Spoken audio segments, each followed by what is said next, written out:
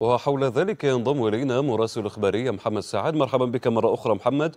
آه، حول هذا الميناء ميناء الملك عبد الله بالمدينة الاقتصادية في رابغ والأهمية الاقتصادية لهذا الميناء. ماذا بودك أن تضيف؟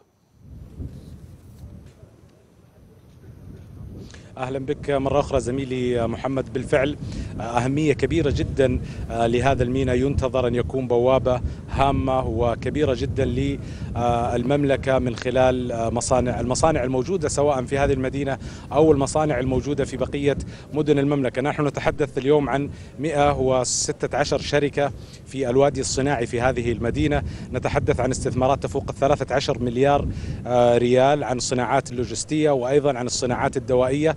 كل هذه الصناعات وأيضا صناعة تجميع المركبات وغيرها كلها ينتظر أن تستفيد من هذا الميناء بعد تدشينه اليوم رسميا من قبل سمو ولي العهد.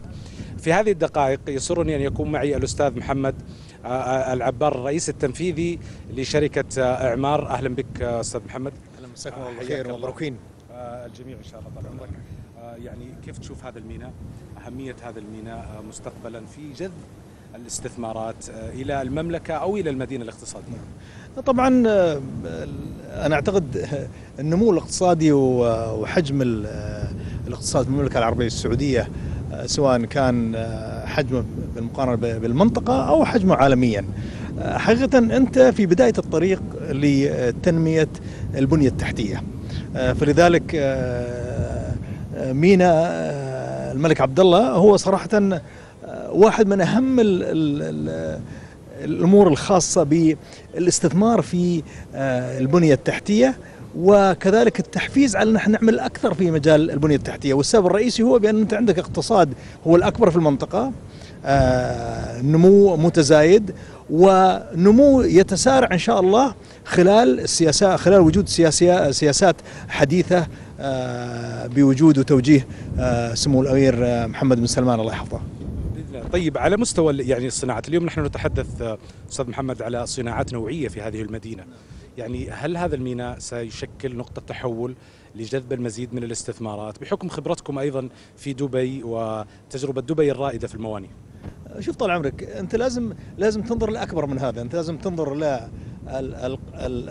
الصناعات والمصانع اللي تكون حوالي الميناء ولكن الحقيقة أنك أنت عندك اقتصاد المملكة العربية السعودية كله وخدمة هذا الميناء والموانئ الثانية للاقتصاد المحلي. فلذلك في عندنا نمو عظيم ما شاء الله سنويا حتى سنة 2018 ولكن كذلك ما ننسى كذلك أهميته بالنسبة للمنطقة كل سواء كان أهميته بالنسبة لبقية دول الخليج لمصر لافريقيا كذلك. فأنت أنت تبني بنية تحتية لها تأثير على الاقتصاد الوطني وعلى القطاعات المختلفة اللي حوالي الميناء ولكن كذلك هناك تاثير تأثير مهم على المنطقة ككل. يعني هل يعني يمكن أن يضيف مثل هذا الميناء تكامل بين دول الخليج؟ يعني بين المملكة مثلا والإمارات يعني الإمارات تمتلك تجربه ثريه فيما يتعلق بالمواني.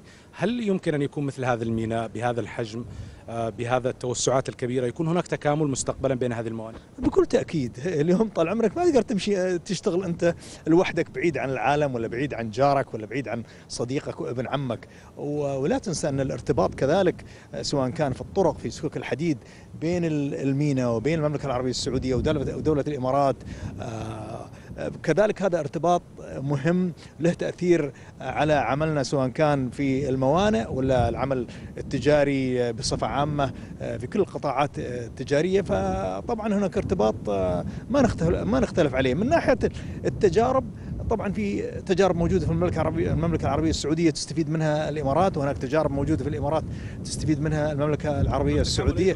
نعم نعم وكذلك هناك شركاء مهمين زي الشركات الموجودة اليوم سفنها موجودة في الميناء. كذلك هذا شركاء استراتيجيين نستفيد منهم وناخذ الخبرة والعون منهم كذلك. رئيس مجلس إدارة شركة إعمار شكرا جزيلا لك أستاذ محمد. مشكورين مشكورين ومبروكين. الله يبارك فيك. إذا بالفعل نحن نبارك للوطن هذا المنجز زميلي محمد. الكثير من المستثمرين يتواجدون في هذه اللحظات في مقر الميناء للاطلاع على هذه التجربة السعودية الرائدة أيضا التي ينتظر أن تنطلق اليوم رسميا بحضور وتدشين سمو ولي العهد. محمد سعد كنت معنا من مدينة الملك عبد الله الاقتصادية. شكرا جزيلا لك ولضيفك الكريم.